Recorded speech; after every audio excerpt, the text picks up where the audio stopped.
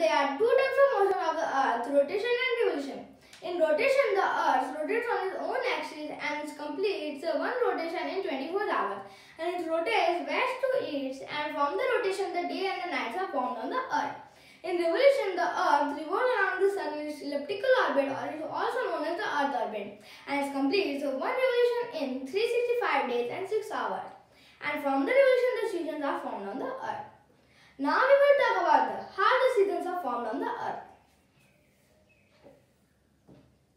So our earth is tilted at 23.5 degree angle.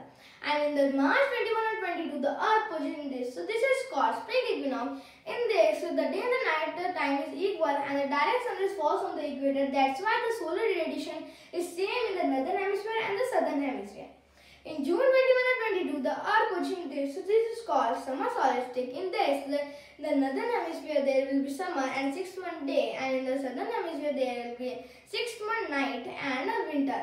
And the north pole is pointed to the sun because of the earth tilted axis. And the incoming solar energy is greater in northern hemisphere. And the days are in the northern hemisphere the days are longer and the days uh, nights are shorter.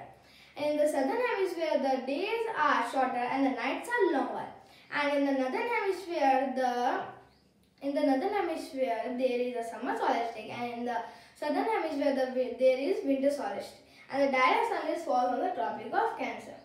And in this um, September 22 or 23, Earth position this. This is called autumn equinox.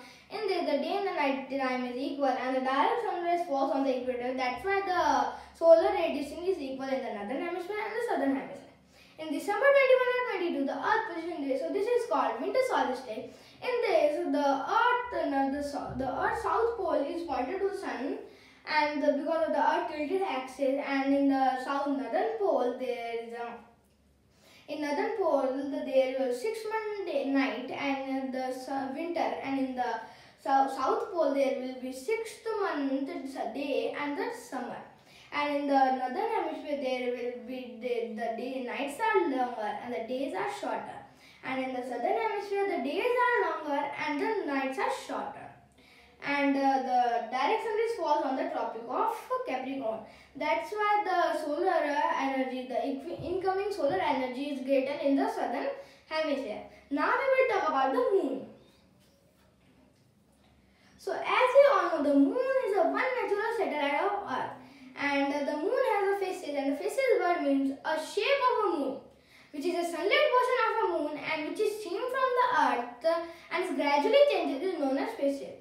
So there are eight phases of the moon. So for new moon, waxing crescent, first quarter, waxing gibbous, third full moon, waning gibbous, third quarter, waning crescent, then new moon. If you all look at the moon, so from the new moon to the full moon, the sunlit portion of a moon is increasing. And from the full moon to the new moon, the moon sunlit portion is decreasing. So these are the eight phases of the moon. Now I will talk about the eclipse. So the eclipse word means a celestial body which is covered by another celestial body is known as eclipse. So there are two types of eclipse, solar eclipse and lunar eclipse. In solar eclipse there are four parts, partial eclipse, total eclipse, annular eclipse and hybrid eclipse. In solar eclipse, the moon is in middle and the sun is blocked by the moon and the shadow of a moon which is falls which falls on the earth and the darker shadow is known as umbra and which are deflected are known as penumbra.